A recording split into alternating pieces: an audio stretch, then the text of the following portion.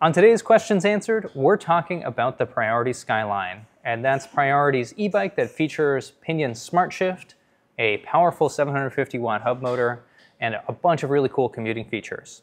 So let's get into the questions. And the first question is, does this bike have an MGU?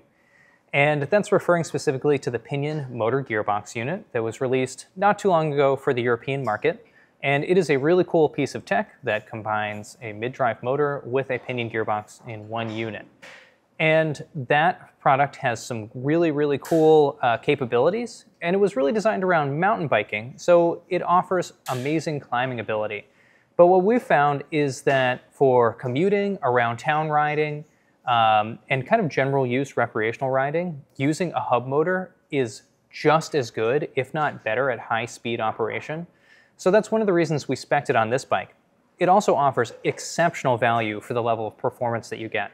So this combination of Smart Shift gearbox in the center of the bike and a 750 watt hour hub motor at the rear of the bike offers fantastic around town performance, great commuting performance, really, really good range, and it's a fraction of the price of anything that might come with an MGU. And the next question is, does the Skyline have regenerative braking? And the answer is no, and that's because uh, if you know about regenerative braking, it has specific requirements, and those would actually make the riding experience worse overall. Regenerative braking on an e-bike requires a direct drive hub motor, and the downsides of a direct drive hub motor are that it's heavier, it's less efficient, and it doesn't provide as much torque at low speed as a geared hub motor. So we spec'd a geared hub motor on the Skyline to make sure it had powerful low-end torque at low speed, as well as high-end torque, and that it's much more efficient. And the other thing about regenerative braking is that even on a really efficient system, it will only send about 5% of energy back into the battery. So the downsides greatly outweigh the benefits uh, of a regenerative braking system. So we decided to spec a hub that was efficient, powerful, and was a great match for the application of this bike. We're getting a lot of questions about the Pinion Smart Shift gearbox and what it feels like to actually ride with that on an e-bike. Um, specifically in regards to what 600% gear range feels like on the bike. And on this bike with the stock gearing setup, if you're in the lowest gear and pedaling at 80 RPMs, you're going about four and a half miles an hour. So that's like pretty slow and gives you the ability to easily spin up even very, very steep climbs. Uh, and that combined with the 90 newton meters of torque from the hub motor means it'll be hard to find a hill that you can't spin up easily. And on the other end of the range, uh, if you're in the highest gear, in gear 12, and spinning at 80 RPMs with your, with your pedals, uh, you will be going 28.6 miles an hour. So that means that at a comfortable cadence, you can go the entire gear range of this bike. And that means that you won't feel like you don't have a low enough gear on the low end, and it will not feel like you're spinning out on the high end, even at the 28 mile per hour cutoff of the motor. The next question is, how do I pair it to my phone? And the answer is you can connect to the SmartShift gearbox on your Skyline using the Pinion SmartShift app. And using that app, you can turn on such features as uh, Start Select and Pre-Select that, that allow the automated shifting function of the gearbox. Check out our assembly video for more information. The next question is, how do I charge it?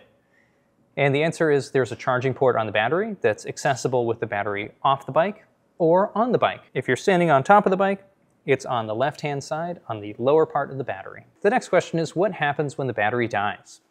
And the answer is, if you're riding and you've used up all the power of the battery with the motor, the bike will get to a point where it will not have enough power to power the motor, but you'll still be able to operate the lights, the display, and the smart shift gear changing system for well over a thousand shifts. The next question is, what kind of range can I expect with the Skyline? And the answer is, we've tested it to get roughly 20 miles in the higher pedal assist modes and 60 miles in the lower pedal assist modes. But there's a lot of variability in actual range, so you might get more or less depending on a variety of variables. You can check out our other questions answered video about this very topic for more context. Uh, uh, the next question is, are there any battery or safety features? And we do include a battery longevity feature called sleep mode. So when your bike arrives, it'll be in sleep mode, where there's an additional button on the bike to turn on the battery and wake it up from sleep mode. And that basically allows the battery to preserve charge for longer and will preserve the long-term health of the battery. Uh, the bike will also go into sleep mode after 72 hours uh, of not being used or when being plugged in on the charger. The next question is, how much does the Skyline weigh? And the answer is, the Skyline weighs 68 pounds. The next question is, what kind of maintenance can I expect on the Skyline? And the answer is, like all priority bicycles, we designed the Skyline to have as little maintenance as possible. So day to day, what you can expect is just having to air up the tires, you know, once a week or uh, pretty much regularly. And beyond that, we're just talking about parts that wear out. So 1500 to 2000 miles, you probably want to check your tires and brake pads. Beyond that, changing the oil in the gearbox every 6,000 miles, and then looking for belt wear somewhere around six to 10,000 miles, depending on your riding conditions. And that's pretty much it. A lot of people ask, what class is this e-bike and what does that mean? The Skyline ships as a class 2 e-bike, which means that on pedal assist and throttle, it's limited to 20 miles an hour. Depending on your local regulations, you can use the display of the bike to raise the pedal assist up to 28 miles an hour. That'll make it a class 3 e-bike. Can I take the Skyline to any local bike shop if I need to? And the answer is absolutely. Most local bike shops are happy to work on a priority bike, and the Skyline is no exception. Aside from the pinion gearbox and Gates components, everything on the bike is totally standard bike stuff, so any bike shop can work on it. The next question is, is there a range extender for this bike? And the answer is no, but we've also found that the down tube battery, having 720 watt hours, and the efficient rear hub motor make for very good range, so it doesn't need one. What are my options for carrying things on the bike? Well, the Skyline comes with a rear rack that's integrated into the rear fender, and that has a 48 pound weight limit. So you can use one or two panniers on there or strap stuff to the top. That gives you a lot of flexibility for typical day-to-day -day commuting stuff or recreational stuff that you want to bring with you.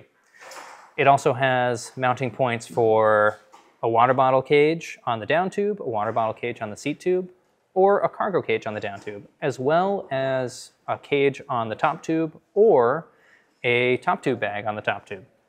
So there's definitely some flexibility there.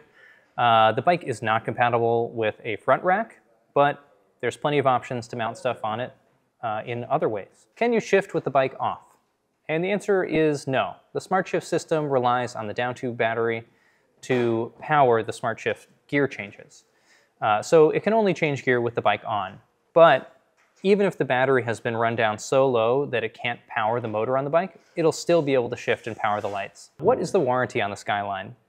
Priority offers a five-year warranty on the frame, as well as a two-year warranty on all of the electrical components, including the battery and the hub motor on the bike. The other components are covered by a one-year warranty, as well as many of them being covered by their respective manufacturer's warranties. But if you have an issue outside of the warranty timeframe, we're always there to help. If you have any more questions about the Priority Skyline, Priority's customer service team is available seven days a week and is reachable on phone, email, text, WhatsApp. But if you have any bike-related questions, post them in the comments below and we'll address them in a future video. Thanks for watching.